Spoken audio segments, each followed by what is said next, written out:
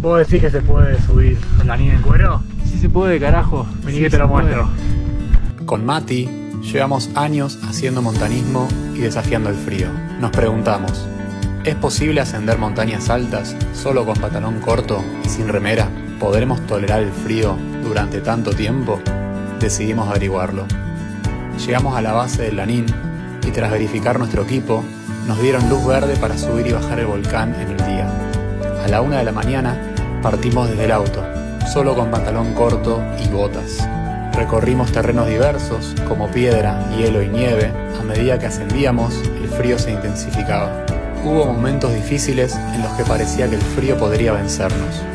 Gracias a que nos mantuvimos enfocados y concentrados, logramos seguir adelante con fuerza.